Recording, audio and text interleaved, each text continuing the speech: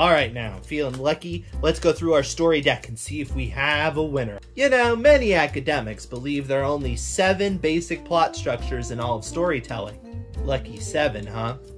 One of the proponents of this theory was Christopher Booker, who popularized it with his book, The Seven Basic Plots. So, let's whip out our story deck and take a look at these seven basic plots. Number one, overcoming the monster. Clearly, a story about me meeting my mother-in-law. I'm just kidding. These stories involve an evil force threatening the main character or their world. Many horror stories are this plot type, including the classic novel and movie Jaws. That story begins, like many of these do, with the audience getting a strong sense of the danger that the monster poses. It looms in the distance, or makes its first kill, lets the writer throw in some cannon fodder. Thanks. We have feelings too, you know. Then our main character is introduced. They usually hear about the threat without having seen it, but they decide to go off and face the risk, knowing the danger. The main character attempts to prepare themselves for the task, but upon encountering the monster, they realize this problem is way worse than they thought. After a good failure, or many good failures, they finally emerge victorious. Now remember, not all uh, monsters are horrific creatures. Some of them might be other people or government systems. For example, many James Bond movies take on this formula, pitting 007 against a monstrous adversary. Let's dive back into the deck and pull out another story plot. Ooh, I like this one. Number two, Rags to Riches. Who doesn't love an underdog story? In these tales, we witness the rise of an obscure soul with a low rank become a high-powered force to be reckoned with, and usually rich as well. Some examples of this plot include Cinderella, Aladdin, Annie, and the Ugly Duckling. Usually, we begin the story seeing the main character miserable and in a depressingly bad state. Like they're looking at their college loan statements or something. Suddenly, out of nowhere, something appears to change things, like a fairy godmother, or a magic lamp, or a rich bald eccentric. At first, things seem to be going well for them. Unfortunately, this new situation has come upon them quickly, and they find themselves overwhelmed by the situation, or uh, making mistakes. Kind of like when people win the lottery all of a sudden. Anyway, they hit a dark point. Their mistakes and uh, the situation proves too much for them. However, they dive deep, and through the strength of their character, that uh, nobody noticed up until this point, they manage to pull off success in their new world. And now they've truly earned their victory and their enormous payday. Ooh, I like that one. Number three, The Quest. Quest stories involve a search for something, and it means your main character is gonna set off from home on a grand adventure. A classic quest story is Lord of the Rings, where Frodo has to set off from the Shire on his journey to destroy the One Ring. Usually, the story begins with the hero learning of the mission, or uh, being thrust into the mission. Seriously, he swam out in open water for like two seconds. With a goal in mind, destroying the ring, uncovering the Holy Grail, finding Nemo. The main character sets off on his journey, usually befriending a cast of colorful characters along the way. Of course, this journey isn't going to be easy, and the hero finds themselves encountering obstacles and barriers on their journey. Just when you think the goal is in sight and they've just about completed their journey, uh-oh, it turns out it's a lot more difficult than they expected. Just when things seem completely hopeless, they take the knowledge they learned along their journey and finally achieve success. Hooray! By the way, don't miss out on our other videos. Like this video, subscribe, hit the bell. Autocrit, it's a good place. Alright, what's next? Hmm. Number four, Voyage and Return. The hero gets snatched up from the normal world and pulled into a strange world. They end up needing to escape the strange world and uh, gain some knowledge as a result of the whole adventure. Some examples include Back to the Future, Peter Pan, Alice in Wonderland, The Time Machine, and The Lion, the Witch, and the Wardrobe.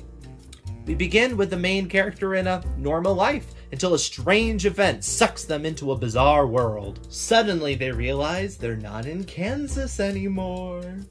But hey, it's pretty cool. Flowers sing, there are talking lions or mermaids, but it ain't home. So, how are they gonna get back? it ain't going to be easy. You see, a dark force is affecting this strange world, and the hero is going to have to conquer it in order to escape. Somehow, through bravery, intelligence, luck, they pull it off, and they escape from the world wiser for the experience. Ooh, I hope this is a good one. Number 5. Comedy. Comedy doesn't just mean that a story is funny. It's a specific plot type involving a situation that gets worse and worse through a series of humorous events.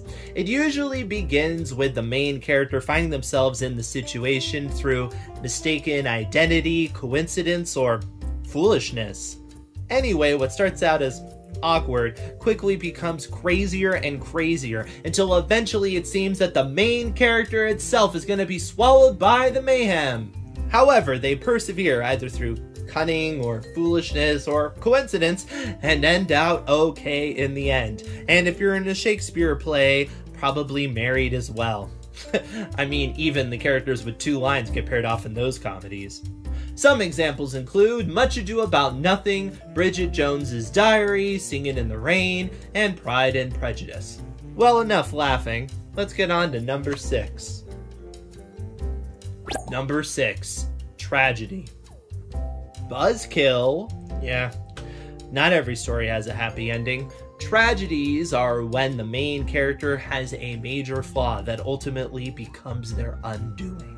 For example, in the musical Hamilton, his dogged determination in pursuit of his personal name ends up sealing his fate in the final duel. Uh, spoiler! It's in the opening song. Besides, I think they're okay. Story is 200 years old. Tragedies begin when the main character obsessed with something.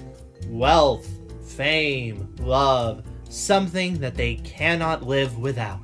Along the way, they make choices of which there is no return, and we end up hanging on for the ride on their path towards total destruction. Along the road, the main character encounters obstacles along the way. As they encounter them, the audience notices that the choices they make will only seal their doom at the end. The situation becomes tenser, and more and more bad choices are made until finally they fall prey to the situation. It's a risky strategy choosing a tragedy, depending on the audience. Hence, Hamilton giving it away in the opening number since most musicals are comedies. But a good tragedy can leave an indelible mark on the audience. We all know the classic strategies of Shakespeare, like King Lear or Macbeth, but there are other modern examples, such as Thelma and Louise, The Godfather, or Citizen Kane.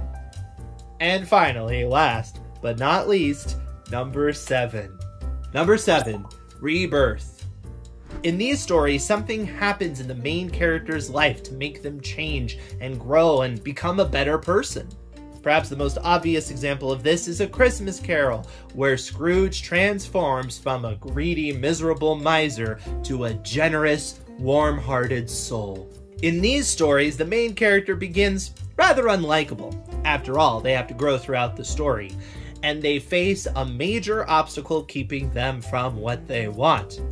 The situation becomes more and more tense until finally the character reaches a near death situation. However, this traumatic experience was merely the death of their former self. With the knowledge that this event created, the character seeks out to begin life anew with a different perspective on things. Not only does Christmas Carol fit the bill, but a lot of other Christmas stories tend to be rebirth stories.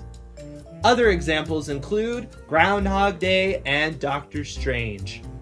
So, what say you? Do you think there are only seven basic plot types? What are some of your favorite films or books, and which plot type do you think they are? Comment below. Which is your favorite to write? Until next time, keep those story cards shuffling and uh, get writing. Just a reminder, subscribe, ring the bell on this channel, and uh, check out these videos, some great writing tips for you. We'll see you there.